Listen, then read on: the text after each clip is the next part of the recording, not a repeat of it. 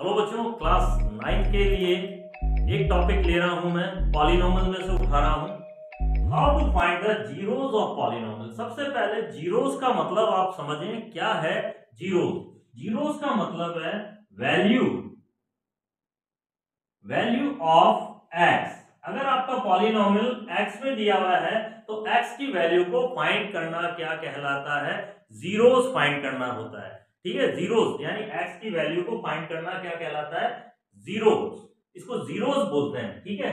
या और भी एक नाम है इसका रूट और क्या बोलते हैं इसको? रूट अगर आपके पास में लिखा है हाउ टू फाइंड द या find the root of polynomial find the value of x तो एक ही मतलब है इसका कि हम क्या कर रहे हैं?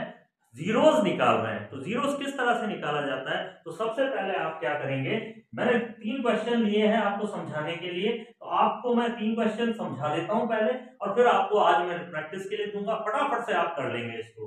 तो देखिए, सबसे पहले सॉल्यूशन लिखता हूँ मैं। आप क्या करेंगे? लेट सबसे पहले आप पी एक्स को इज़ इक्वल टू ज़ीरो ले लेंगे। अब पी एक्स क्या है आपके पास में? टू एक्स है। तो two x plus one is equal to zero इसको उधर भेज दीजिए। तो one is equal to zero minus one और टू एक्स हमारे पास में क्या आ गया? X is equal to minus one upon two it is the zero zero ये आंसर है आपका।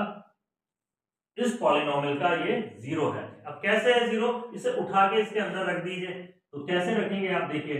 Two into minus one by two x की जगह रख दिया आपने और प्लस वन ठीक है? यानी p, अगर आप वैल्यू रख रहे हैं इसकी तो ये कहलाता है value of P at minus one by two तो यहाँ पर रखा आपने, आपके पास में माइनस वन आ गया टू से टू कट गया plus one is equal to zero तो यानी कि पॉलिनोमियल को ज़ीरो बनाने वाली जो वैल्यू है, वो उसका ज़ीरो कहलाता है। बात समझ में आएगी नहीं है आपको? पॉलिनोमियल को ज़ीरो बनाने वाली वैल्यू उसका ज़ीरो कहलाता है, उसका रूट कहलाता है, वो वैल्यू कहलाती है। क्लियर है, बहुत सेटिस्फाइड होता है। यहाँ पर भी यही काम करेंगे। Let P X is equal to zero हमने पी एक्स को ज़ीरो माना तो A X plus B is equal to zero हो गया। That is A X plus B is equal to zero तो अब आप उसको बी को उधर भेज दीजिए। X is equal to minus B upon A ये आंसर आ गया आपका। बहुत इजी है बच्चों। अब इसमें सबसे बड़ी प्रॉब्लम है, ये क्या करें, इसका क्या करें सर तो देखिए आप, हम हम तो हमारे मेथड पे चलते जाएँगे। P X is equal to zero यानी दैट इज़ इसको बोलते हैं यानी दैट इज़ दैट इज़ ठीक है? तो x two x is equal to zero two का डिवाइड कर दो ज़ीरो में तो हमारे पास में x is equal to zero आ गया। तो बच्चों, आज आपको क्या फाइंड किया आपने? ज़ीरो निकालना फाइंड किया। एक्सरसाइज दे देता हूँ। फटाफट से आप पाँच छह सवाल कर लीजिए, आपके टिप्स हो जाएँगे।